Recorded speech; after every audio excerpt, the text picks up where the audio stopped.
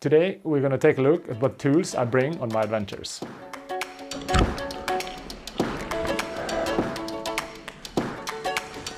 Bye.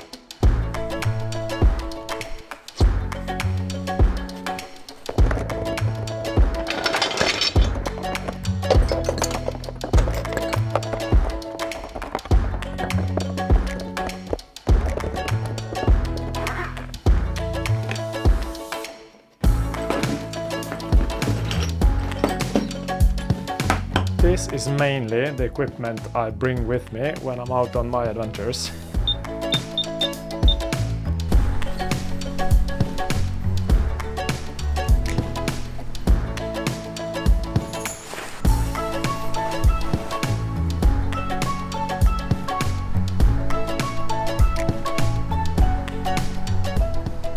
I got a new set of uh, tire levers and tire tools from Eastbound.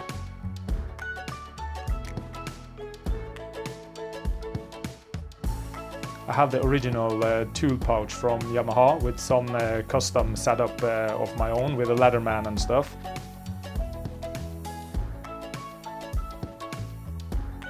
I have the um, trail tool or what it's called from Motion Pro.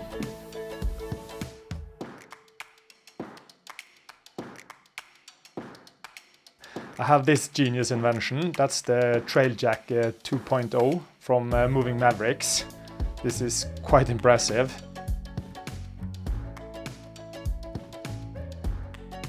And I just have a normal pump from uh, or how they pronounce it. It packs quite small and I really like the invention with you just pack it inside yourself.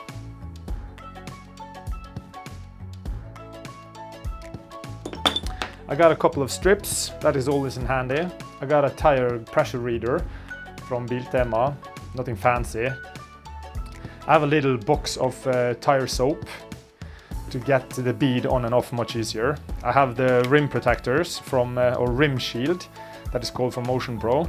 Those comes quite in handy if you want to spare your rim from getting a lot of dents. And I have a tube repair kit with patches, if that is necessary. And I have the, um, I'm not sure what this is called.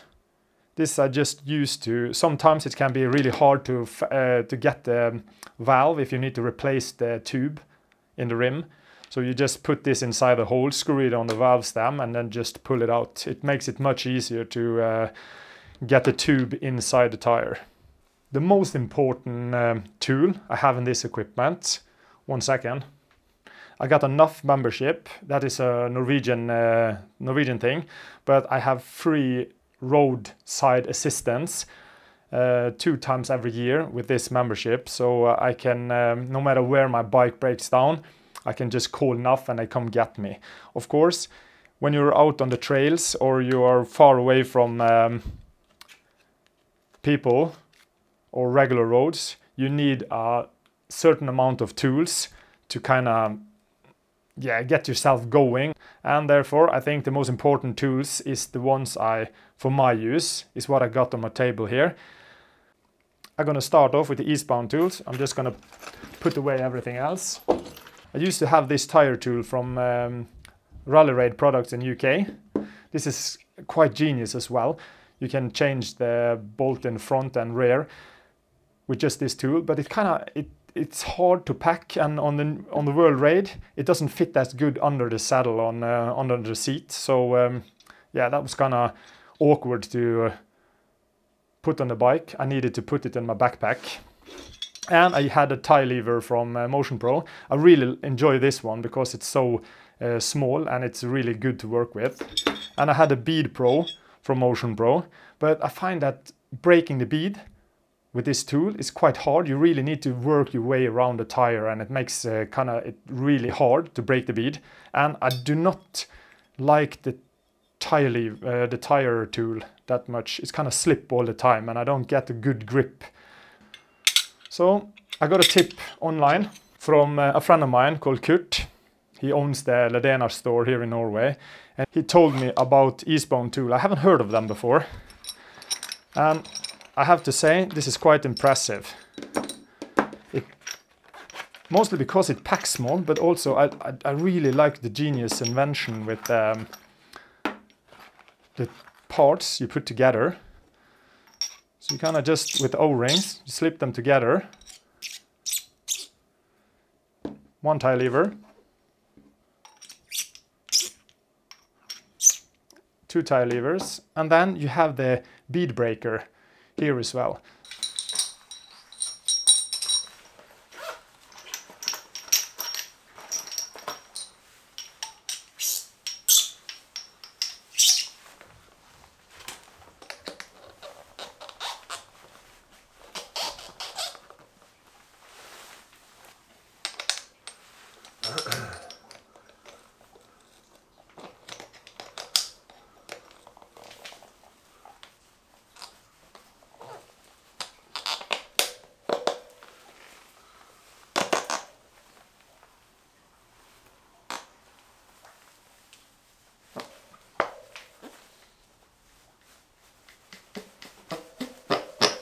Crap. And like this. Put this on.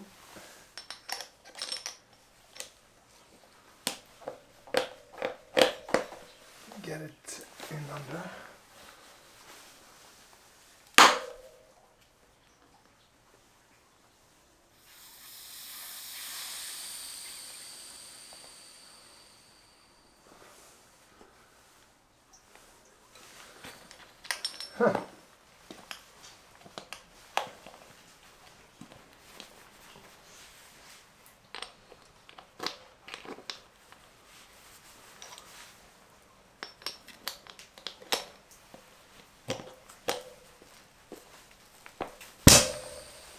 Ha!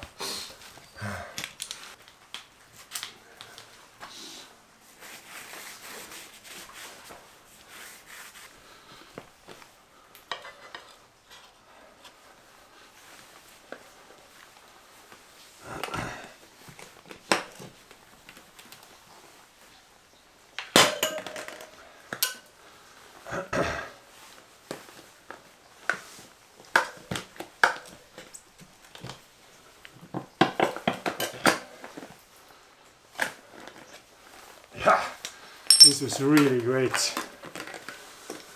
Oh, I really enjoyed this one. Amazing tie levers.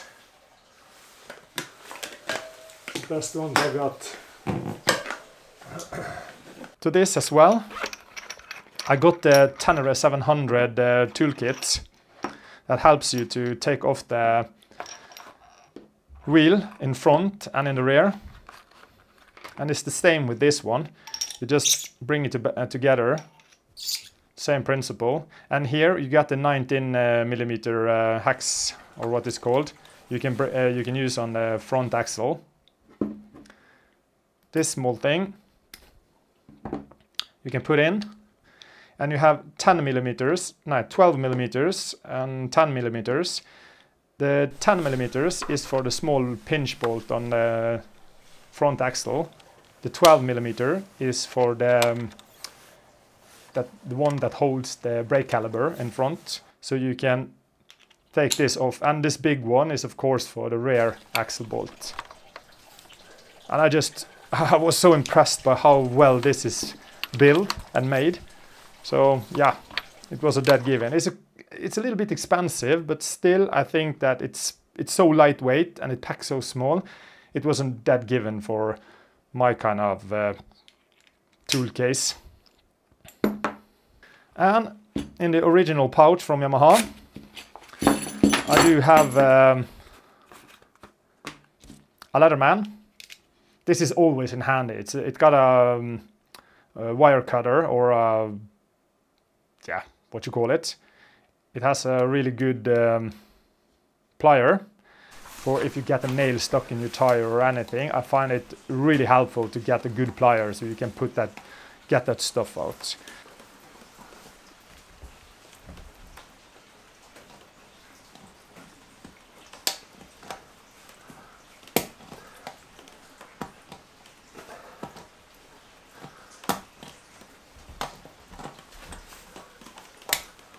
I got the seal mate from uh, Motion Pro if I get a leakage in one of my front forks. And I have the original spanners from Yamaha that get in the kit. It's a 10, 8, 14, 17 and uh, yeah, 12 or 10 as well. So this is quite handy when I change the rear wheel to the, the positioners uh, and or to tighten or loosen the chain. I will probably put these together with the tire tool and I have the spoke uh, tool to uh, that I can adjust the spokes on the wheel. I've never had to do that, but uh, you never know. So it's, since it's so small and so easy to bring and lightweight, I just have it in the kit. Most of you probably know about uh, trail tools from Motion Pro. It's quite handy little thing that uh, I'm not going to go too much into details about uh, this either. It just, most of you guys know what it is. It's a little handy tool you can assembly or open up to have, uh, to make different kind of uh, adjustment. You have 14, you have 8, you have 12 and 10 and you have a even a beer opener. So yeah, I find this is uh, quite handy as well. And uh, it's always nice to have a double off of uh, some tools if you have somebody to help you or help you to to take off plastic or some of the covers on the bike. It's always great to have uh, a little bit of extra tools. And of course this is also lightweight and uh, really small, so uh, yeah, highly recommend it. This is probably my most favorite thing. It's so small and it's so genius. It just, I'm so goddamn impressed by this trail stand. This is a little Velcro strap you use around your uh, brake lever when you want to secure and lift up the back wheel. And you have the pin and you have a couple of set, a couple of extra O-rings in the little pouch that comes with it. You bring out the, the bottom of it. Everything is secured with O-rings, so it's quite snug. And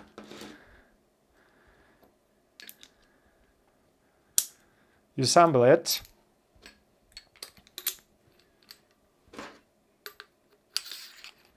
And you make, make sure it is about 5 to 7 centimeters higher than the point you are going to lift. And find a secure spot to have it. And with this thing you can lift the bike in the front or in the rear if you need to take the uh, tire if you need to take the tire off the bike.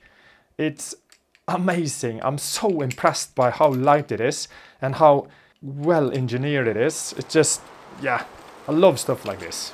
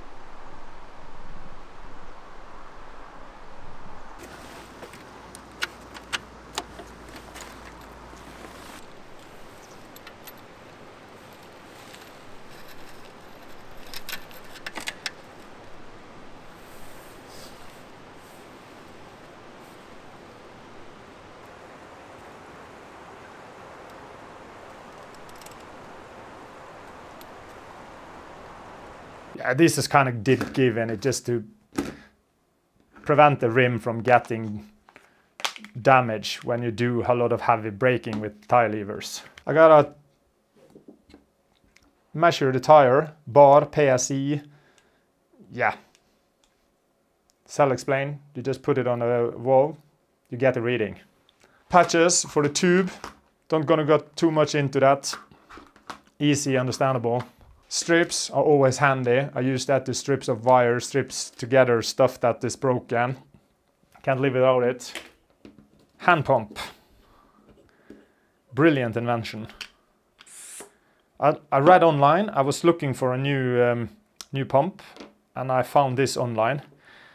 It was highly recommended by the um, bicycle community and there's two set of valves. You have one for um, uh, it's even stand. It's even in writing what kind of valve it is. It is Schrader and it's Presta. And you have, um, so you just screw it onto the valve.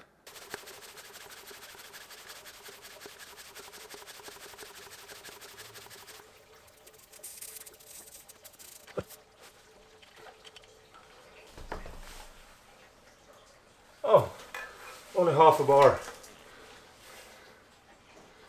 0.65 bar. And you can even pump the tire up to, with this hand pump, you should, with ease, pump up 90 psi or 6.2 bars. And that's quite high to be a hand pump. Of course, it's a little bit of man uh, labor. I don't want to do too much uh, hand gestures for this, but it can. but yeah, it's simple, it's incredible lightweight, it packs inside itself, and it's just it's just brilliant. I know, uh, I know there's uh, smaller ones, but of course, the smaller the pump is, the more labor is to pump up a tire. And of course, you don't need to pump it too high, it's just enough to make it out of um, the woods by yourself. So to kind of sum it up, this is the uh, this is mostly the tools that I find myself in need of when I'm out on my trails or out on my kind of adventures. But keep in mind, I'm no enduro rider. I'm just an adventure rider that uh, ride around on 50-50 uh, gravel and tarmac. And I don't see the point in having too much tools with you. I uh, went through all my gear and I know that I have a couple of extra stuff as well, a couple of extra fuses in my jacket and I have um, a couple of spare linkage uh, for the chain and a couple smaller things uh, in my tank bag. So yeah, but this is mainly the stuff because uh, I really need to be able to change the tire on the trail if it's if I get a flat or uh, if there's any problems. I have to say I was quite impressed by the new tire levers, how well it performed and how easy it was to break the bead on the tire. I had much worse, uh, it was much worse to do it with the Motion Pros. I get a lot of questions about this stuff, so I hope I answered some of them in this video. I know a lot of people are curious about the tools I got from Eastbound and um, yeah, I hope I showed in a good way how easy they are to use and how good they perform. And no, I'm not sponsored in any way by any of the tool brands that I have uh, in my kit. Yeah, and that is all I got for you today. Take care, stay safe, I'll see you in the next one.